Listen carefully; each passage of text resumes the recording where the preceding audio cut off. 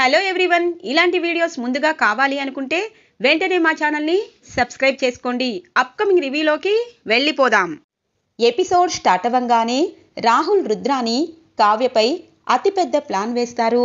ఇక రాహుల్ విదేశాల నుండి దొంగ బంగారం తెప్పించి స్వరాజ్ గ్రూప్ ఆఫ్ ఇండస్ట్రీని అడ్డం పెట్టుకుని కోట్లు సంపాదించుకోవాలన్న ప్లాన్ అనేది స్వప్నకి వినపడేలా కావాలనే మాట్లాడుకుంటారు. ఆ విషయం తెలిసి స్వప్న పరుగు పరుగున కావ్యకి చెప్తుంది. నువ్వు చెప్తున్నది నిజమా అక్క? అని అంటుంది కావ్య. నిజమే నేను ఆ ఫైల్ని చూశాను. ఈరోజే ఆ ఫైల్పై సంతకాలు చేయించడానికి రాహుల్ వెళ్ళబోతున్నారు. ఎలాగూ మా అత్త రాహుల్ ఆ ఫైల్ తీసుకుని కిందికి వస్తారు. అందరి ముందు వాళ్ళిద్దరి నిజస్వరూపం నువ్వే బయటపెట్టు. ఎందుకంటే ఇన్ని రోజులు ఇంట్లో గొడవలు పెట్టిన మా అత్త ఇప్పుడు కంపెనీని కూడా నాశనం చేయాలనుకుంటున్నారు. కంపెనీ నాశనం అయితే మనందరం రోడ్డున పడతామని కనీసం ఆ మూర్ఖులకి అర్థం కాలేదు అని అంటుంది స్వప్న. అక్క నువ్వేమీ కంగారు పడద్దు. ఇలాంటిదేదో చేస్తూ ఉంటే నేను ఆఫీస్లోనే రాహుల్కి వార్నింగ్ ఇచ్చాను. అప్పుడు ఆయనకి తెలియకుండా ఎలాగో ఒకలాగా రాహుల్ని ఏదైనా చేస్తారని సైలెంట్గా ఉన్నాను. నీ భవిష్యత్ కోసం ఆలోచించాను. ఇప్పుడు నేను ఆలోచించను అని చెప్పి హాల్లోకి వస్తుంది కావ్య. ఇంతలో రాజ్ ఏంటి కలవతి మళ్ళీ వంటగదిలోకి వెళ్ళావేంటి? ఈ రోజంతా మనం హ్యాపీగా ఆటపాటలు ఆడుకుంటూ చక్కగా ఈ రోజంతా ఎంజాయ్ చేయాలని టిఫిన్ భోజనం టీ కాఫీలు అన్ని ఆర్డర్పై వచ్చేస్తాయి. ఇక డిన్నర్ టయానికి కూడా డిన్నర్ వస్తుంది. మళ్ళీ వంటగదిలోకి ఎందుకు వెళ్ళావు అనగానే ఏవండి? మీరు ఇలాగే ఇంట్లో కాలక్షేపాలు చేసుకోండి. అక్కడ మన కంపెనీ పరువు పూర్తిగా పోయి అందరం రోడ్డు మీదకి వచ్చే రోజు వచ్చేస్తుంది అని అంటుంది కావ్య. ఇంతలో ఇందిరాదేవి అపర్ణాదేవి అంటారు అమ్మ కావ్య ఏమైంది? మీ తాతగారు నిర్ణయం తీసుకున్నారు. రాజ్ ఇంట్లోనే ఉండాలని అనుకుంటున్నారు. మనందరం సరదాగా ఈరోజు హ్యా- సంతోషంగా టైం స్పెండ్ చేయాలనుకున్నాం కదా. ఇప్పుడేంటి? మళ్ళీ రాజ్ని ఏదో అంటున్నావు. మన కంపెనీకి వచ్చిన నష్టమేమీ లేదు అని అంటారు ఇందిరాదేవి. లేదమ్మమ్మగారు మనం అలాగే అజాగ్రత్తగా ఉంటే అక్కడ పెద్ద పెద్ద ఫ్రాడు జరిగిపోతుంది. అది జరిగాక మనమేమీ చేయలేము. ఆకులు కాలాక చేతులు పట్టుకుంటే ఏమొస్తుంది? చేతులు కాలాక ఆకులు పట్టుకున్నా ప్రయోజనం లేదు కదా అని అంటుంది. ఇంతలో సుభాష్ ప్రకాష్ కూడా హాల్లోకి వస్తారు. ఏమైందమ్మా? ఎందుకిలా మాట్లాడుతున్నావు? అని అంటారు. మామయ్య మన కంపెనీని అడ్డం పెట్టుకుని పెద్ద కుంభకోణమే జరపడానికి ఇదిగో రుద్రాణి గారు రాహుల్ గారు తయారైపోయారు అని అంటుంది కావ్య. ఒక్కసారిగా అందరూ ఉలిక్కి పడతారు. ఈలోపు రుద్రాణి రాహుల్ కిందికి వస్తారు. ఎవరి గురించి ఏం మాట్లాడుతున్నారు అని అంటుంది రుద్రాణి. రా రుద్రాని రా. ఏదో నీకు బాధ్యతలు తెలియవని ఇప్పుడు దాకా అనుకున్నాము. నీ కొడుకుని వెనకేసుకుని వచ్చి బాధ్యతలు అప్పగించమని నువ్వు ఎంత దీనంగా అడిగావు. కానీ ఇప్పుడు కంపెనీని భ్రష్టు పట్టించాలని రాహుల్ చూస్తున్నాడని కావ్య అంటుంది. ఏం చేస్తున్నారు అని అంటారు ఇందిరాదేవి. అమ్మా మీరేం మాట్లాడుతున్నారో నాకు అర్థం కావట్లేదు. ఎందుకమ్మా? ఆ కావ్య మాట పట్టుకుని ప్రతిసారి నా కొడుకుని నన్ను అనుమానిస్తూ అవమానిస్తున్నారు. కళ్యాణ్ బయటికి వెళ్ళి కష్టపడుతున్నాడు. అది ఆమెకి సరిపోలేదు. ఇప్పుడు రాహుల్ కూడా బయటికి వెళ్ళిపోవాలి. ఇప్పుడు తను రాజ్ మీరందరూ ఇక తన కాబట్టి సంతోషంగా ఇంట్లో చిందులు వేయాలి. మొన్న కళ్యాణ్ ఇంటి నుండి వెళ్ళిపోయాడు. ఇప్పుడు రాహుల్ కూడా ఇంటి నుండి వెళ్ళాలని ఈ కావ్య పన్నాగం పడుతుంది అని అంటుంది రుద్రాణి. ఆపత్తా మీ భాగవతాలు నాకు తెలియదనుకోవద్దు. నా చెల్లిని ఒక్క మాట అన్నా నేను ఊరుకోను. ఇప్పుడు దాకా మీరు చేసిన తప్పులని నేను దాచాను. కోటి రూపాయలు నా ఆస్తిని తాకట్టు పెట్టుకుని సేటు దగ్గర అప్పు చేసినా నేను నోరు మెదపలేదు. ఎందుకంటే మీ గౌరవం నా భర్త గౌరవం కాపాడాలని. కానీ ఇప్పుడు అది కాదు సమస్య. కంపెనీని భ్రష్టు పట్టించాలని అనుకుంటున్నారు. అందుకే ఈ నిజాన్ని అందరి ముందు బయట పెట్టాము రాహుల్ నువ్వు మీ అమ్మ మాట్లాడుకున్న మాటలన్నీ నేను విన్నాను. మీరు దొరికిపోయారు అని అంటుంది స్వప్న. ఇక రాజ్ ఒక్కసారిగా షాక్ అవుతారు. స్వప్న నీకేం తెలుసు అని అంటారు రాజ్. కంపెనీ విషయాలు నాకు పెద్దగా తెలియవు. కానీ రాహుల్ మా అత్త మాట్లాడుకున్న మాటలన్నీ విన్నాను. అలాగే రాహుల్ రూమ్లో ఉన్న ఫైల్ని కూడా చూశాను. చదివాను. అది అగ్రిమెంట్ ఫైల్. విదేశాల నుండి బంగారాన్ని రప్పించి ఏదో చెయ్యాలనుకుంటున్నారు కావ్యకి చెప్పాను. కావ్య అదిగోవే అదే ఫైల్ అని అంటుంది. చూసారా సాక్ష్యాధారాలతో సహా దొరికిపోయాక ఇంకా ఇంకా ఏం మాట్లాడతారు? మీకు ఏదో కంపెనీ బాధ్యతలు అప్పగించామని చక్కగా చేసుకోక కంపెనీని భ్రష్టు పట్టించాలనుకుంటున్నారు. కావాలంటే ఆ ఫైల్ చెక్ చేయండి. దొంగ దొరికిపోతాడు అని అంటుంది కావ్య. కావ్య గారు ఇప్పటిదాకా రాజ్ భార్యవని ఇప్పటిదాకా మర్యాదగా మాట్లాడాను. కానీ నన్ను మోసకారిగా దొంగగా అలాగే కంపెనీని నాశనం చేసే వ్యక్తిగా గుర్తించాలని అనుకుంటున్నారు. ఈ ఇంటి నుండి బయటికి వెళ్ళాలనుకుంటున్నారు. నేను అస్సలు వెళ్ళను. నేనే తప్పు చేయలేను. రాజ్ కావాలంటే ఈ ఫైల్ చెక్ చేయి. ఎవరిది తప్పో తెలుసుకో అని అంటారు రాహుల్. రాజిక ఆ ఫైల్ని చెక్ చేస్తారు. ఒక్కసారిగా షాక్ అవుతారు. కలవతి అని అంటారు. చూశారు కదా తను ఏం చేస్తున్నాడో అని అంటుంది కావ్య. రాహుల్ ఈ ఫైల్లో ఎలాంటి బంగారం కొనే లా లేదు. ఇది మనకి పెద్ద కంపెనీ ఆర్డర్ వచ్చింది. దానిపై సైన్ చేయడానికి వెళ్తున్నట్టు ఉంది. నువ్వు ఏం చూసి ఎలా అర్థం చేసుకున్నావు అని అంటారు. రాజ్ నేను మార్నింగ్ చూశాను. ఈ ఫైలే అని చెప్పి ఇక స్వప్న ఆ ఫైల్ని చదువుతుంది. ఇక రుద్రాని ఇదే అవకాశమని వచ్చి ఏంటి ధాన్యలక్ష్మి ఇంకా నువ్వు సైలెంట్గా ఉంటున్నావు? నీ విషయంలో నీకు అన్నీ నేర్పించానని ఈ కుటుంబం అంతా నన్ను దుమ్మెత్తి పోశారు. కానీ నా కొడుకు చెయ్యని తప్పుకి ఈ కావ్య నానా మాటలు అంటుంది. ఇక ఇక్కడున్న వాళ్ళంతా ఈవిడి గారికే సపోర్ట్ చేస్తూ నా కొడుకు చెయ్యని తప్పుకు కూడా నా కొడుకుని బదనాం చేస్తారు. ఇప్పుడు నువ్వు సైలెంట్గా ఉంటే అర్థమేంటి అని అంటుంది ధాన్యలక్ష్మి. అదే రుద్రాని నేను అదే అడుగుదామనుకుంటున్నాను. ఈ కావ్య మాటలు విని ఈ కుటుంబం అంతా చెయ్యని తప్పుకి నిన్ను నన్ను మన పిల్లల్ని బలి చేస్తున్నారు. అక్కడ కళ్యాణ్ నానా కష్టాలు పడుతున్నాడు. ఇప్పుడు రాహుల్ కూడా ఇంటి నుండి బయటికి గెంటేస్తే ఇదిగో వీళ్ళు ఇలాగే క్యారం బోర్డ్స్ ఆడుకొని ఇక అన్నీ వీలే సంతోషంగా ఈ ఆస్తిని అనుభవిస్తూ హ్యాపీగా ఉంటారు. ఇక నీ కొడుకు నా కొడుకు వీధిన పడితే ఏముంది? మన ఇద్దరి తల్లి బాధ వీళ్ళకి అర్థమైతే ఏమైంది? వీళ్ళు మాత్రం సంతోషంగానే ఉన్నారు కదా. ఈ కావ్య మాటలు విన్నంతకాలం ఈ కుటుంబంలో మన పిల్లలకి అన్యాయమే జరుగుతుంది అని అంటుంది ధాన్యలక్ష్మి. చిన్నత్తయ్య పదే పదే కవిగారి విషయంలో నన్ను కావాలనే బయటికి తీసుకువస్తున్నారు. అసలు మీరు అతనికి కన్న తల్లా కాదా అని డౌట్ వస్తుంది. ఎందుకంటే కవిగారు ఎన్నో కష్టాలు పడుతున్నారు. కనీసం చూడ్డానికి కూడా వెళ్ళకుండా ఇక్కడ మాత్రం మీరు నగలు వేసుకుంటూ ఇంటి కుటుంబం మొత్తానికి తప్పు చేసినట్టు మాట్లాడుతున్నారు. ఇక ఈ రుద్రాణి గారు ఎప్పుడూ తప్పులే చేయనట్టు చాలా కుటుంబంపై ఈ ఇంట్లో ఉన్న మనుషులపై ప్రేమ కారిపోతున్నట్టు ఆవిడ గారికి సపోర్ట్ రమ్మని నిన్ను కోరుతున్నారు. చూడండి మీరు ఇప్పుడు ఏం చేసినా ఒకవేళ మీది తప్పు లేకుండా తప్పించుకున్నా మీరు తప్పు చేస్తారు అని చెప్పి ఖచ్చితంగా నాకు తెలుసు అని అంటుంది కావ్య. కలవతి నీకు ఎన్నోసార్లు చెప్పాను. తాతగారి నిర్ణయానికి మనం అడ్డు చెప్పకూడదు. అలాగే రాహుల్ ఏ తప్పు చేయకపోయినా అందరి ముందు తనని నువ్వు అవమానిస్తూ మోసం చేశాడి అన్నావు. అందుకే రాహుల్ని క్షమాపణ అడుగు అని అంటారు.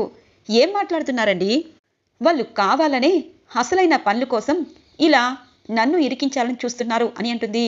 చూడు నిన్ను ఇరికించాల్సిన అవసరం నాకు లేదు అని అంటుంది రుద్రాని సరే నన్ను ఇంట్లో వాళ్ళందరూ తప్పు పట్టినా పర్వాలేదు. చూడండి మీరు ఎలాగూ తాతగారి మాటకి విలువనిచ్చి కంపెనీని రాహుల్ గారికి అప్పగించారు. కానీ తాతగారిని నేనొకటి అడుగుతాను. తాతయ్య ఒకటి మాత్రం నిజం చెప్తున్నాను. కంపెనీ భ్రష్టు పట్టకుండా ముందుగానే జాగ్రత్త పడాలి అంటే నేను ఇంతకు ముందు డిజైనర్గా వెళ్ళాను. ఇప్పటి నుండి నేను డిజైనర్గా వెళ్ళబోతున్నాను. మీ పర్మిషన్ ఓకే అంటే ఈ రోజు నుండే వెళ్తాను అని అంటుంది. ఒక్కసారిగా రుద్రాని రాహుల్ షాక్ అవుతారు. అదేంటమ్మా నిన్ను వెళ్ళమని వెళ్ళొద్దని ఎవరు చెప్పలేదు. కంపెనీకి సపోర్ట్గా రాజ్ విషయంలో ఉన్నావు. ఇప్పుడు కూడా కంపెనీకి సహాయం చేసేలా వెళ్ళు. ఎవరు వద్దన్నారు? అని అంటారు సీతారామయ్య గారు. ఇక కావ్య రుద్రాని దగ్గరికి వస్తుంది. చూడండి రుద్రాణి గారు ఇంట్లో గొడవలు ఇంట్లోనే ఉంటాయని మీ గురించి ఏ నిజాలు చెప్పకుండా వదిలేశాను. ఇప్పుడు కంపెనీ గురించి మీరు ఏదైనా ఫ్రాడ్ కనుక చేస్తే ఇక మీకు రోడ్డు మీద కూడా ప్లేస్ లేకుండా చేయగలను అని చెప్పి ఇక అక్కడి నుండి వెళ్ళిపోతుంది కావ్య. ఇది ఇలా ఉండగా అప్పు కనకం ఇచ్చిన మూడు వేలు తీసుకుని ఏంది? ఇలా అంటున్నాడు. కవి డబ్బులు ఊరికినే రావు. నెలంతా కష్టపడితేనే డబ్బు వస్తుంది. కానీ నువ్వేమో అమ్మ డబ్బులు దాచుకోమంటున్నావు. నేను వెళ్ళి సరుకులు తీసుకొచ్చి వంట చేస్తాను అని చెప్పి ఇక కవి నాకు చెప్పకుండా ఎక్కడికి వెళ్ళాడు? పాపం కాఫీ అడిగాడు. కాఫీ తాగలేదు. పైగా వద్దు డబ్బులు అని చెప్పి బాధగా వెళ్ళాడు. కవి డబ్బులనేవి ఊరికినే రావు. నిజమే. కానీ మనం అవసరానికి మన అమ్మ ఇస్తే తీసుకోవాలి. అవసరం అయిపోయాక అమ్మకి కావలసినవన్నీ తీసుకొచ్చి ఇవ్వాలి. అది అంతేగాని పౌరుషంగా నాకు వద్దు అంటే ఇప్పటికిప్పుడు డబ్బులు ఎలా వస్తాయి? అది నీకు అర్థం కాలేదు. కానీ మా కవి నేను చెప్తే వింటాడు అని చెప్పి డోర్ లాక్ చేసి బయటికి వస్తుంది అప్పు. ఇక అప్పు సరుకులన్నీ ఇంటికి కావలసినవన్నీ ఇక కొనగా మిగిలిన డబ్బులతో రైతు మార్కెట్కి వెళ్తుంది. అక్కడ ఆకుకూరలు కొన్ని కూరగాయలు తీసుకుని పాపం నడవలేక నడవలేక వస్తూ ఉంటుంది. నా దగ్గర ఇప్పుడు వంద రూపాయలు ఉన్నాయి. ఈ వంద రూపాయలకి నేను ఆటో ఎక్కాననుకో రేపు ఈ వంద రూపాయలు కూడా ఉండవు. అందుకే నడిచి వెళ్తే తప్పేముంది? నడక ఆరోగ్యానికి మంచిది అని చెప్పి పాపం ఆ సరుకులు అలాగే కూరగాయలు తీసుకొని నడుచుకుంటూ వస్తూ ఉంటుంది. ఇంతలో కరెక్ట్గా కళ్యాణ్ ఆటో వేసుకుని వస్తూ ఉంటారు. ఆటో కళ్యాణ్ కొత్తగా నడపడానికి సిద్ధమవుతారు. ఈ ఆటో ఇప్పటి నుండి నడిపితేనే ఈ నెల మొత్తం గడుస్తుంది. ఒక నెల కష్టపడతాను. తరువాత మంచి కథ రాస్తాను అని చెప్పి మనసులో అనుకుంటారు. కళ్యాణ్ ఆటో ఆటో అని అంటూ ఉంటారు. ఒక్కసారిగా అప్పును చూసి షాక్ అయిపోతారు కళ్యాణ్. అప్పు నువ్వా? అని అంటారు. కవి నువ్వేంటి? ఆటో అని అంటుంది. అప్పు రా ఇంటి దగ్గర డ్రాప్ చేస్తాను. ఈ రోజు నుండి నేను ఆటో నడపాలని అనుకుంటున్నాను అనగానే మరి నాకెందుకు చెప్పలేదు? అని అంటుంది. అప్పు నువ్వు చెప్తే ఒప్పుకుంటావా? ఒప్పుకోవు కదా అందుకే. రాపు చాలా దూరం నుండి నడుస్తున్నావు. రా రా అని అంటారు. చూడు కవి నువ్వు నన్ను పెళ్ళి చేసుకుని ఇలా కష్టాలు పడుతూ ఉంటే నాకు ఎలా ఉంటుంది చెప్పు? నువ్వు ఆటో వెళ్ళి వాళ్ళకిచ్చేసే అని అంటుంది. అప్పు ఏం మాట్లాడుతున్నావు? మనమేమైనా దొంగతనం చేస్తున్నామా? కష్టపడుతున్నాము. కష్టపడితేనే డబ్బులు వస్తాయి. మనం గౌరవంగా బ్రతకగలం. ఇప్పుడు నేను చేస్తున్న కష్టానికి నువ్వు ఎందుకు ఇలా అవమానంగా ఫీల్ అవుతున్నావు అనగానే ఏంది బై నువ్వు ఇలా ఆటో నడుపుతూ ఉంటే దుగ్గిరాల ఇంటి పరువు ఏమవుతుందనుకున్నావు? నా వల్ల నువ్వు ఎన్నో కష్టాలు పడుతున్నావు. ఇంకా నువ్వు ఆటో నడుపుతూ ఉంటే నేను ఇంట్లో కూర్చొని తినలేను. ముందు ఆటో ఇచ్చేసే అని అంటుంది. అప్పు ఫీల్ అవ్వద్దు.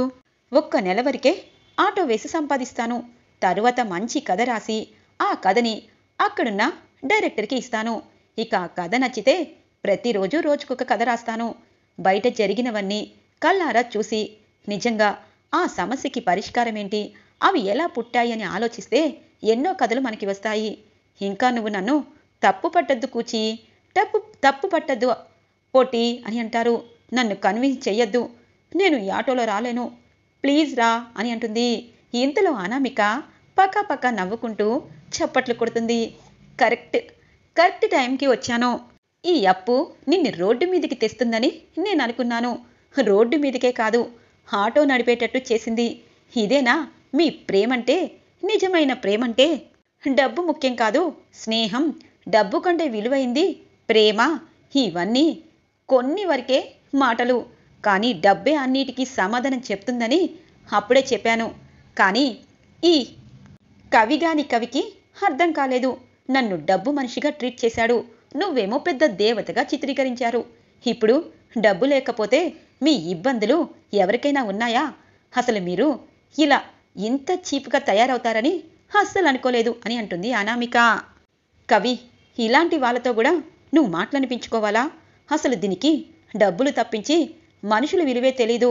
అబద్ధాలాడుతూ బ్రతుకుని నాశనం చేసుకొని నాలాంటి వారిని కిడ్నాప్ చేసి రాక్షస ఆనందం పొందుతుంది. అలాంటి ఆడదానికి నువ్వు అవకాశం ఇవ్వకూడదు. వెళ్ళి ఆటో ఇచ్చే అని అంటుంది. చూడప్పు ఇలాంటి వారు మనల్ని అనే ముందు వాళ్ళ జీవితాలు ఏదో వాళ్ళు చూసుకుంటే బాగుంటుంది డబ్బు కోసం ఏదైనా చేసే ఇలాంటి దాని మాటల్ని నువ్వు నేను పట్టించుకోము. అప్పు ముందు ఆటో ఎక్కు. ఇలాంటి వారులు మాటలు పట్టించుకుంటే ఈ భూమి మీద మనుషులు అలాగే ప్రేమ అభిమానాలు ఏవి ఉండవు.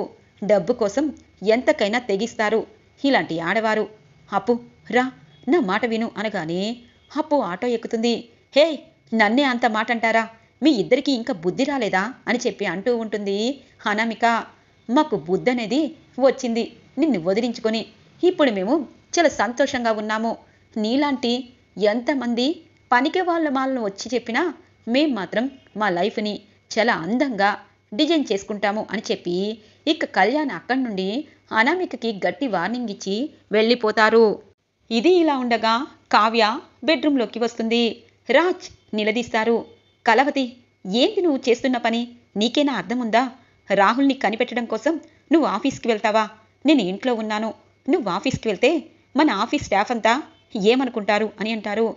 ఇదేంటండి? నేను మీరు ఉన్నప్పుడు మీరు లేనప్పుడు ఆఫీస్కి వచ్చాను. అలాగే కొత్త కొత్త డిజైన్స్ కూడా వేసి ఇచ్చాను. అప్పుడు లేని బాధ? ఇప్పుడేంటి? ఇప్పుడు మీరు ఇంట్లో ఉంటే నేను ఆఫీస్లో ఉంటే ఏమైద్ది? అని అంటుంది కావ్య. ఏమీ అనుకోరు. నీ భర్త చేత కానివాడు అందుకే రాహుల్కి పెట్టుకున్నారు. అలాగే ఒక బాబుని తీసుకొచ్చాడు కాబట్టి తను ఒక ఏంటి ఏంటి అన్నది డాష్ డాష్ అన్నది నువ్వే పూరించుకో. ఇప్పుడు నువ్వు రాహుల్ గురించి చెప్పడానికి ఏమీ లేదు. వాడు అమ్మాయిలతో తిరగచ్చేమో కానీ డబ్బును విచ్చలవిడిగా ఖర్చు పెట్టుకోవచ్చు కానీ ఇక మన కోసం బంగారాన్ని తీసుకొచ్చి మన కంపెనీని పాడు చేయాలన్న ఉద్దేశం మాత్రం వాడికి లేదు. నేను వాడిని నమ్ముతున్నాను. నువ్వు కూడా నమ్ము అని అంటారు. చూడండి. అందరం నడి సముద్రంలో మునుగుతున్నప్పుడు ఏదైనా అవకాశం కోసం ఎదురు చూడాలనుకోవడం తప్పు. సముద్రంలోకి వెళ్ళకముందే ఈత వచ్చా? లేకపోతే ఒకవేళ సునామీ వస్తే ఎలా తప్పించుకోవచ్చు? అసలు వెళ్ళాలా లేదా అన్నది ఆలోచిస్తే ప్రమాదం అనేది వచ్చినా చాలా సేఫ్గా ఉంటారు. కానీ అంతా అయిపోయాక ఏముందిలే? రోడ్డు మీద పడితే అప్పుడు బాధపడ్డం కాదు అనగానే హో మీ ఇంట్లో ఎవరికీ లేనిది నీకే ఈ కంపెనీ గురించి ఇంటి గురించి బాధ్యత ఎక్కువైందన్నమాట. సరే నువ్వు తీసుకున్న నిర్ణయాలకి అలాగే నువ్వు అంటున్న మాటలకి నాకేమీ సంబంధం లేదనిపిస్తుంది. నువ్వు ఈ ఆస్తి కోసమే ఇక్కడ ఉన్న వారందరినీ పక్కకి తప్పించావని మా పిన్ని అత్త అంటున్నారు. వాళ్ళ మాటల్ని నిజమనుకోవచ్చు.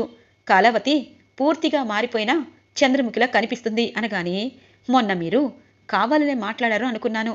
కానీ ఈరోజు మీరు మనస్ఫూర్తిగా మాట్లాడుతున్నారు. కానీ ఇప్పుడు చెప్తున్నాను. మీరు ఏం మాట్లాడినా నేను పట్టించుకోవాలనుకోవటం లేదు. ఖచ్చితంగా నేను కంపెనీకి డిజైనర్గా వెళ్తాను. అక్కడ రాహుల్ చేసిన కుట్రని మీ ముందు ఉంచుతాను. అప్పుడు అప్పుడు కళావతి గ్రేట్ అని మీ నోటి వెంటే అంటారు. అప్పటిదాకా సైలెంట్గా ఉండండి అనగానే ఓ భోజనం కూడా తినద్దా అని అంటారు. మీరు ఎలాగో ఆర్డర్ ఇచ్చారు కదా ఈ రోజంతా ఆదివారం ఆడవాళ్ళకి సెలవు అని అలా అందరం ఆ భోజనమే చేస్తాము. రేపటి నుండి నేను కంపెనీకి వెళ్తాను. మీరు ఆపితే మాత్రం నేను ఊరుకోను అని అంటుంది. సర్లే నీ ఇష్టం వచ్చినట్టు ఉండు. ఈరోజు నేను చెప్పింది వినాలి అని అంటారు రాజ్. ఇది ఇలా ఉండగా అప్పు ఇంటికి వచ్చాక అలుగుతుంది. అప్పు ప్లీజ్ అప్పు ఎప్పుడు నన్ను ఏదో ఒకటి తిట్టేదానివి. ఇప్పుడు అలిగి కూర్చుంటే ఎలా చెప్పు? ఆకలి వేస్తుంది. నువ్వెలాగూ అలిగి కూర్చున్నావు? నా ఆకలిని ఎవరు తీరుస్తారు? అనగానే ఏ మా అమ్మ ఇచ్చిన డబ్బులు డబ్బులు కావనే కదా. మీరు ఆటో నడపడానికి సిద్ధమయ్యారు అని అంటుంది. తప్పైపోయింది అప్పు త్వరగా వంట చేయవా? నేను ఉల్లిపాయలు కోస్తాను అనగానే ఏమీ వద్దు. నేనే వంట చేస్తాను. మీరు ఆటోకి వెళ్ళొద్దు అని అంటుంది. ముందు వంట చెయ్యప్పు. తర్వాత ఆలోచిస్తాను అనగానే కవి నువ్వు అలా ఆటో నడుపుతూ ఉంటే ఆ అనామికనే కాదు. మీ ఇంట్లో వాళ్ళందరికీ ఖచ్చితంగా బాధ అనిపిస్తుంది ఇకపై నువ్వు ఆటో వేయొద్దు. నేను పిజ్జా డెలివరీకి వెళ్తాను అనగానే దానికంటే ఎక్కువ బాధ నాకు కలుగుతుంది. ఇప్పటిదాకా నా భార్య తన పుట్టింటి కోసం ఎంతగానో కష్టపడింది. ఇప్పుడు నా కోసం కష్టపడితే నిజంగా నేను మనిషిని కూడా అనకూడదు. మగవాడు కష్టపడి ఆడపిల్లని పెంచడమే పద్ధతి అప్పు. చూడప్పు భోజనం చెయ్యి నేను వెళ్తాను. ఎవరు ఏమనుకున్నా నేను వాళ్ళకి సమాధానం చెప్తాను. నా గురించి నువ్వు బాధపడద్దు అని అంటారు. ఇక అప్పు బాధపడుతూనే భోజనం వడ్- వడ్డిస్తుంది. అప్పు నిన్ను మొదటి ముద్ద కలిపి నీకు పెడతాను. నువ్వు కూడా నాకు మొదటి ముద్ద కలిపి పెట్టు అనగానే ఇక అప్పు కళ్యాణ్ ఒకరికి ఒకరు భోజనం తినిపించుకుంటారు. అప్పు అనుకుంటుంది. ఎలాగైనా కవితో ఆటోని మానిపించేయాలి. ఎందుకంటే దుగ్గిరాల ఇంటి పరువు పోతుందని వాళ్ళు అనుకుంటారు. కవిని నన్ను చాలా తిడతారు.